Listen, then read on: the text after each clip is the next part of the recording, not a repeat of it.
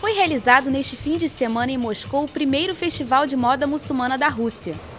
O evento busca mudar a imagem da mulher islâmica como pessoa escravizada pelo rigor do Corão e fora das tendências de moda. No principal centro de exposições da capital se reuniram estilistas da Rússia, Cáucaso Norte, Ásia Central, Irã e países árabes. Eles buscaram na tradição uma forma de apresentar uma mulher feminina graças à pureza do material utilizado e às cores discretas. O objetivo era mostrar a beleza muçulmana através de roupas que respeitem os códigos da religião.